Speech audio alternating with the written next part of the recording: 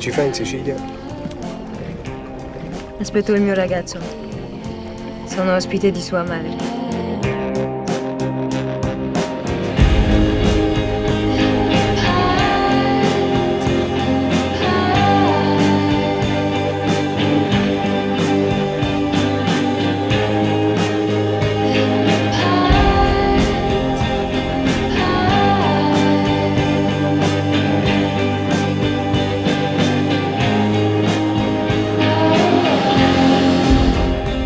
Perché le fai questo?